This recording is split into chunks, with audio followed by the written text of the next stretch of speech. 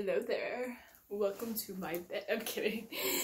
Welcome to my bed. I'm kidding.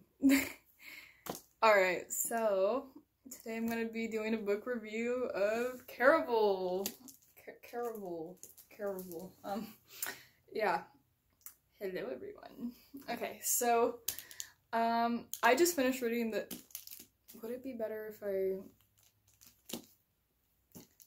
it backwards since this is. Okay, so I just read Caraval by Stephanie Garber, and um, I had a lot of opinions on this book.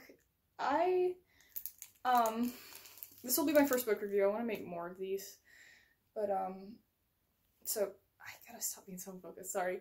Uh, so uh, what's what, what? Where should I start? Warning: This book review might contain spoilers. It probably will contain spoilers, and I also just got out of the shower, so that's why I look like this, and I'm wearing my pajamas. So you're just gonna have to deal with that.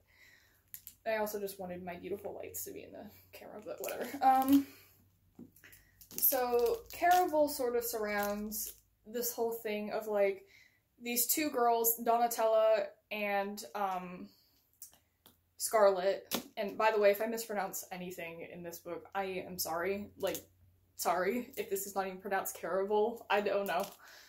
I just saw this on the bookshelf of my library, and I'm like, Carnival! Let's read Carnival! I'm like, oh, it's Caraval. But I've just been seeing this book everywhere online, and I'm just like, I gotta try it out.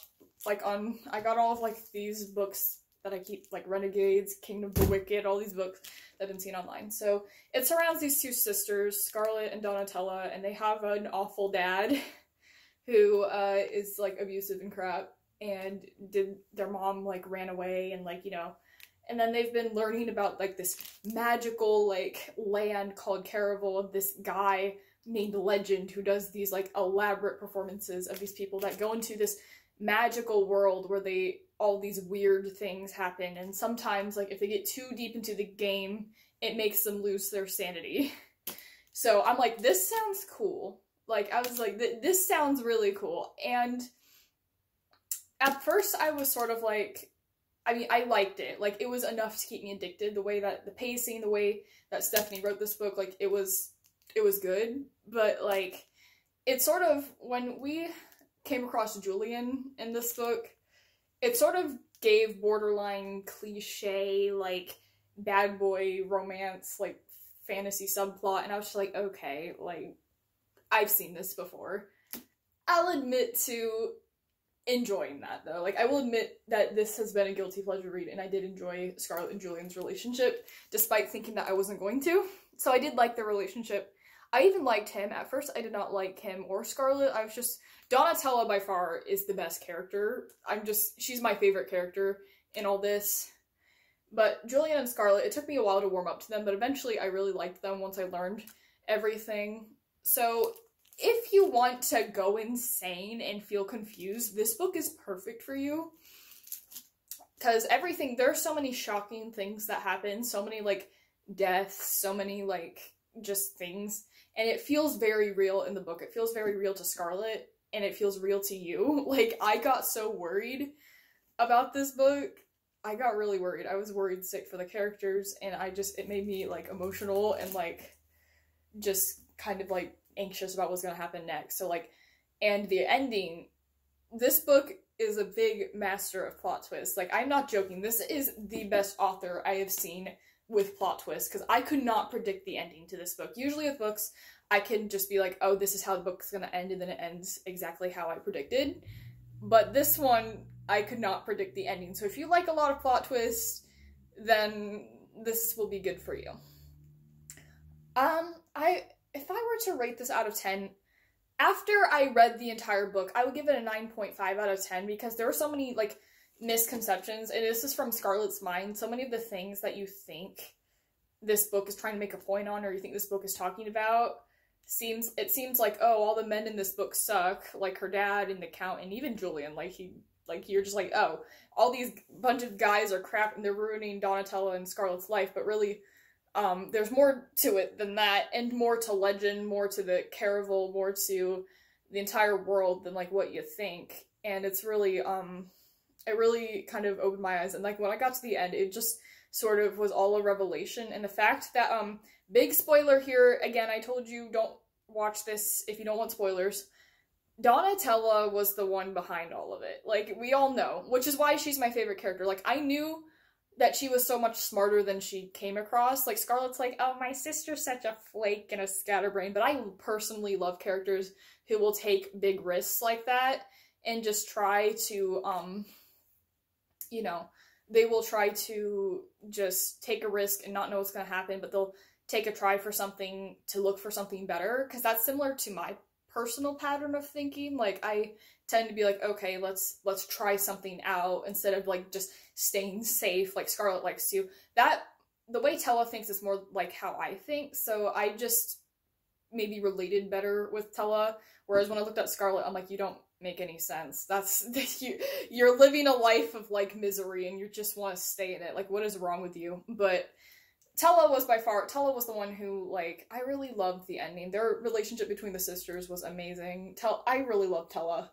And she's apparently, I think, the protagonist of Legendary, the next book, so don't spoil the book for me, please. I haven't read it yet.